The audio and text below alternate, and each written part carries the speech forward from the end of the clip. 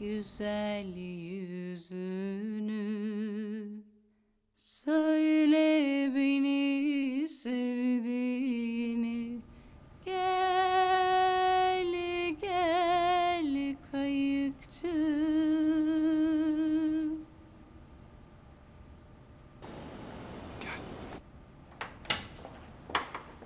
Gelsene niye orada duruyorsun? Sen iyi misin? Evet iyiyim ne oldu? Bilmem. Son günlerde çok dalgın görünüyorsun. Annemi düşünüyorum.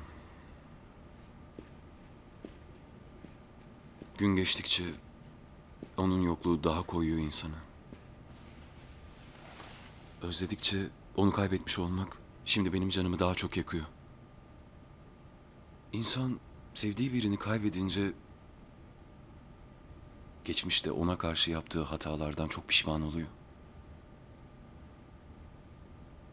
Keşke o zaman onu bırakmasaydım.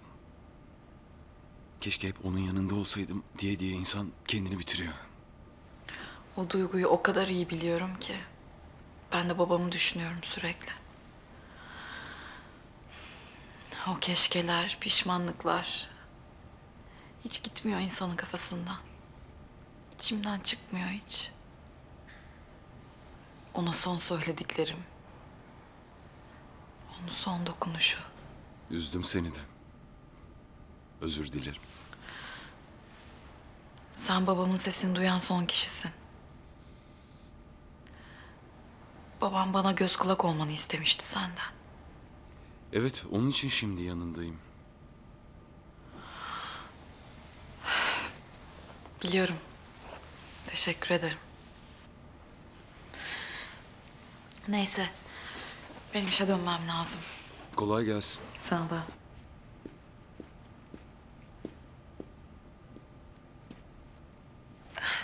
Akşam için eşine ne sürpriz hazırladın? Eve erken gideceğim. Büyük sürpriz olur. Ama eğer sen bir şey yapalım diyorsan... Yok hayır ben merak ettiğim için sordum.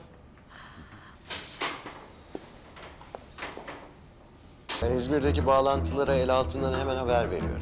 Ellerini çabuk tutsunlar. Bir an önce yeni araziler bulmamız lazım. Hem bölgeye yakın olmalı hem de bize alternatif alanlar sunmalı. Tamam merak etme. Bu kuvvetteki firma ne oldu? Lale Hanım çok güveniyor. Yani adamlar da burada iş yapmak peşindeler. Önce onların parasıyla kendimizi kurtarırız. Sonra da bu rüzgar enerjisi işine başlarız ha? Enderleri de oyalamak gerekiyor bu süreçte.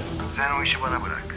Elimizi sürmeden pürüzleri halledecekler. Biz de üstüne konacağız. Ondan sonra da hepsine bay bay.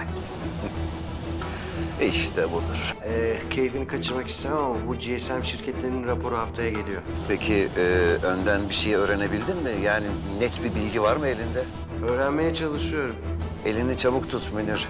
Raporun durumuna göre tedbir alalım. Yani keklik gibi avlanmayalım sonra. Tamam ben de öyle düşünüyorum zaten. Olumsuz bir durum için de bir B planı hazırlıyorum. Ya şu lanetten bir kurtulsak. Sen şirkete ne zaman geleceksin? Ha, bugün gelmeyeceğim. Sahada çalışacağım. Birkaç görüşmem var önemli. Ee, sonra akşam evde görüşürüz. Tamam görüşürüz.